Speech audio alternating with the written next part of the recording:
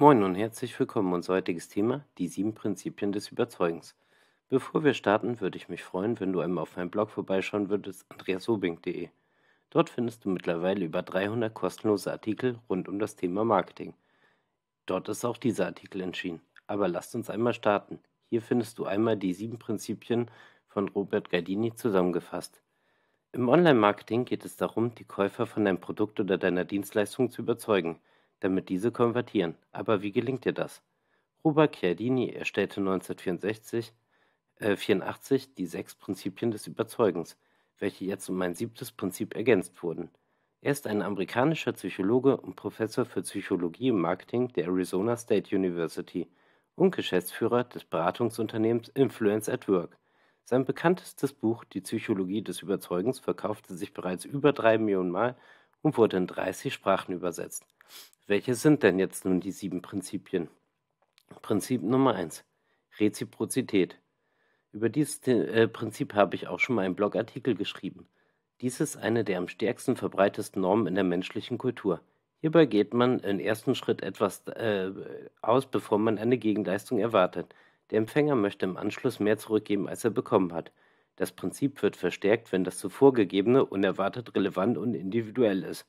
Auch bei Kompromissen findet das Prinzip Anwendung, indem eine überzogene Forderung nach Ablehnung abgeschwächt erfolgt. Beispiele für dieses Prinzip ist eine kostenlose Testversion oder in der stationären Welt die Probierstände, beispielsweise wenn man in einem Kaufhaus, äh, Kaufhaus etwas kostenlos angeboten bekommt, greifen danach sehr viele Menschen zu dem Produkt einfach äh, aus dem Prinzip der Gegenseitigkeit. Prinzip Nummer 2, Liking, also Sympathie. Durch persönliche Sympathie sind wir leichter zu überzeugen. Vertrautheit, Ähnlichkeit zum Nutzer sowie Lob und Anerkennung sind die wichtigsten Faktoren für Sympathie. Ein Beispiel hierfür sind authentische Testimonials, mit denen sich der Käufer identifizieren kann. Prinzip Nummer 3. Soziale Bewährtheit, Social Proof. Hier dient der soziale Herdentrieb als Orientierung bei der Entscheidung der einzelnen Person. Das Verhalten anderer wird beobachtet und nachgemacht. Es gilt die Annahme, dass eine große Menge an Käufern bei einem Produkt nicht irren kann. Beispiele hierfür sind Kundenbewertungen und als Bestseller gekennzeichnete Produkte. Prinzip 4. Autorität.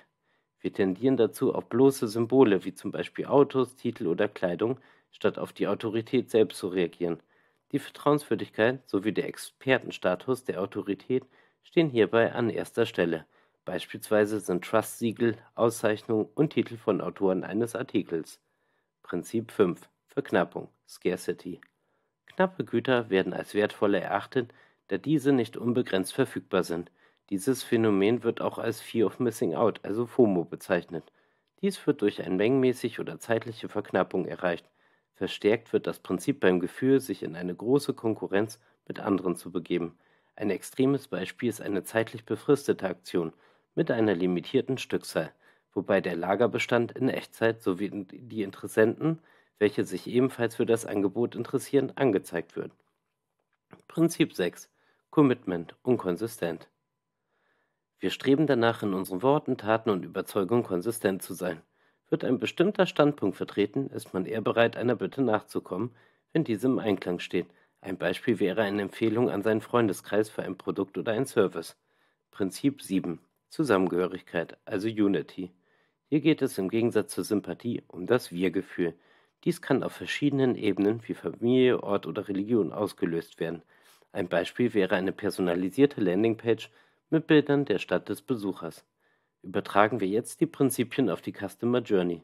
Beispielsweise erster Kontakt mit dem Anbieter, Reziprozität, Zusammengehörigkeit und Sympathie. Dann Interesse am Angebot, aber Unsicherheit, soziale Bewährtheit und Autorität. Und zum Kauf bewegen, Verknappung und Commitment. Du siehst, ähm, mit diesen sieben Prinzipien kannst du durchaus äh, einen großen Teil der Überzeugungsarbeit für dein Produkt oder dein Service leisten. Schau dir einmal alle sieben Prinzipien an und schaue, welche davon deine Dienste erfüllen. Sowohl die Webseite als auch die Werbung, als auch das Produkt oder der Service selber und die Kommunikation. Viel Erfolg bei deiner Kampagne und wir hören uns beim nächsten Mal.